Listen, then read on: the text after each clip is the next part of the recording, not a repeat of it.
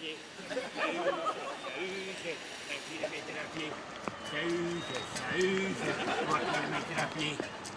soleil. Seuze, les soleil. 268 kilomètres à pied. Voilà. Zo één keer per jaar ga ik op voettocht. Dat is gezond. Dat is goedkoop. Dat is niet plezant, maar ja. Je moet toch iets gaan doen met je tijd in het groot verlof, hè. En van die jaar trek ik op tocht naar Scherpenheuvel. En we gaan een keer zien of dat we nog goed zitten, hè. Voilà. Schoon, hè. Zo'n wereldbol. Ik heb dat gekocht in Ding. In de wereldwinkel. En we gaan een keer kijken, hè. Dus, ehm waar dat we ons momenteel ergens bevinden. Dus hier hebben we dus de Atlantische Oceaan. Daar rechts van ligt dus Europa. Dus dat is Europa. En dan zitten we hier België, een keer kijken, Europa, Parijs, Berlijn en boven Brussel. Dan zitten we momenteel ongeveer hier. Oesje. Boom, dat is geen enkel probleem. Dus aan de hand van mijn kompas en de stand van de sterren, die dus momenteel er niet zijn, maar goed, aan de hand van mijn kompas en de zon, die ook niet schijnt. Ja, dus gewoon aan de hand van mijn kompas gaan we dus proberen onze positie te bepalen. Voilà. Dan denk ik dat wij ons in de onmiddellijke nabijheid van Marikerke moeten bevinden.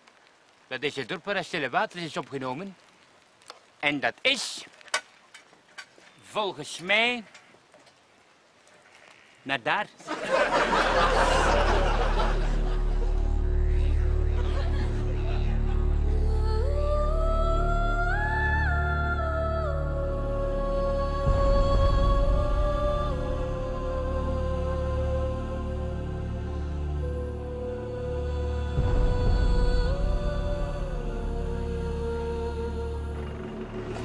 We zijn hier in de streek waar dus de bekende serie Stille Waters is gefilmd. En je ziet dat direct, hè. Gaat hier geweldig traag vooruit. Maar ik vond persoonlijk eh, Stille Waters hoogstaand. Kwalitatief drama. Mensen die verdrinken. Kinderen die worden mismisserd. Mensen zien dat graag op een zondagavond. En het is dus van op deze boot dat dus Jan de Cler is verdronken. Triestig, hè? Dat zo'n grote acteur zo aan zijn einde moet komen. En daar is je gelijk nog altijd niet goed van.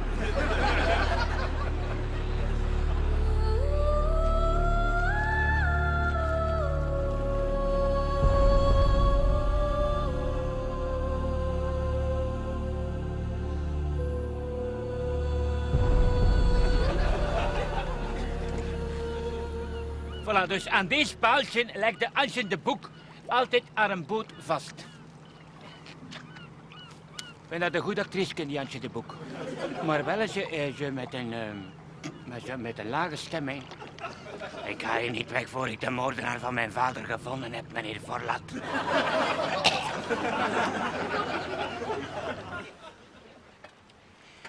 Dat hier, dat is dus de authentieke villa van de slechterik, meneer Forlat.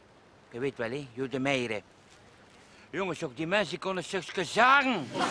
Nou ja, want deze is de authentieke zagerij van Forlat.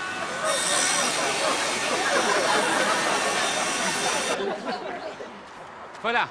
Dus deze is de authentieke kapardouche waar het dus in uh, Forlat naar de meisjes van plezier ging. Dat was een vrije mensje, zeg. Moord, verkrachting, kapitalisme, obstructie van justitie. Ja, ik had dat nooit gedacht van die Jode Meijeren. Oh ja, dat is maar televisie, hè. En dat gebeurt zoiets niet in België.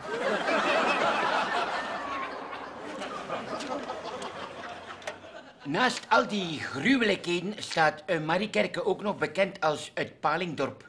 En één keer per jaar zijn er Palingfeesten. Dat is geweldig plezant. Behalve voor de paling natuurlijk. Ehm, ik persoonlijk, ik mag het niet zo graag. Paling, mm, ik bestel altijd ehm, groen zonder paling.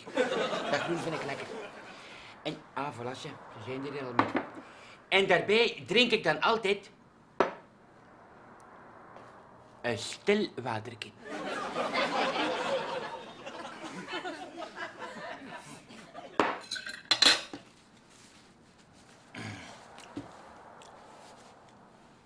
Oh, zeker.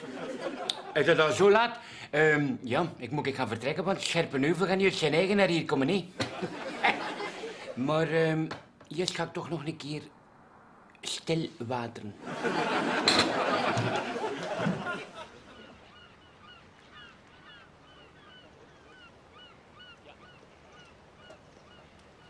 Dus ik heb uh, net vernomen dat uh, Scherpenheuvel is dus die richting.